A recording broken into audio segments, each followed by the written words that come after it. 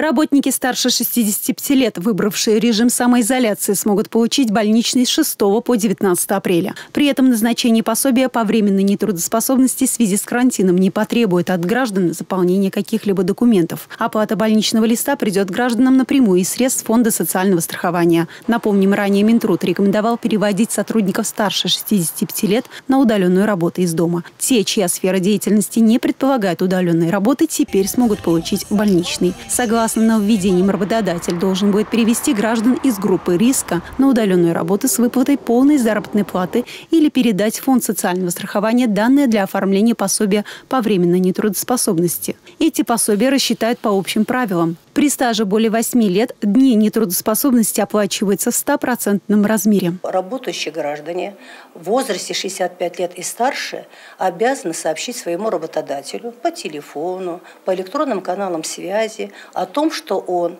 воспользуясь правилами, правами, предоставленным постановлением правительства Российской Федерации, реализует и находится на карантине, самоизолировался, находится по месту проживания и хочет на сегодняшний день получить больничный.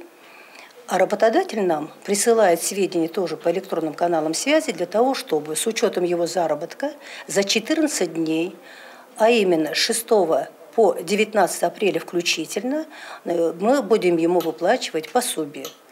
Поэтому мы сейчас связываемся с э, работодателями, они нам сверяют списки своих работающих граждан, и все работающие лица, которые находятся сегодня на самоизоляции, кто не находится в ежегодном отпуске, может, например, у какого-нибудь работающего человека период совпадать 6 по 19 апреля с ежегодным отпуском.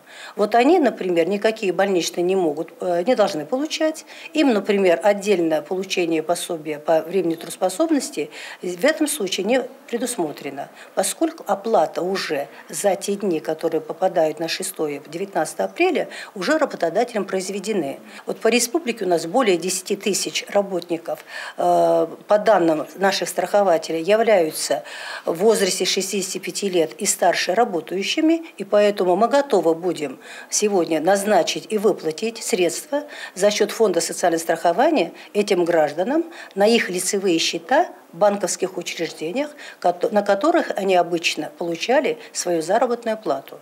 В региональном отделении фонда работает горячая линия 30 39 09 для того, чтобы могли граждане или работодатели получить соответствующую консультацию. Соответствующая информация размещена и на сайте регионального отделения фонда.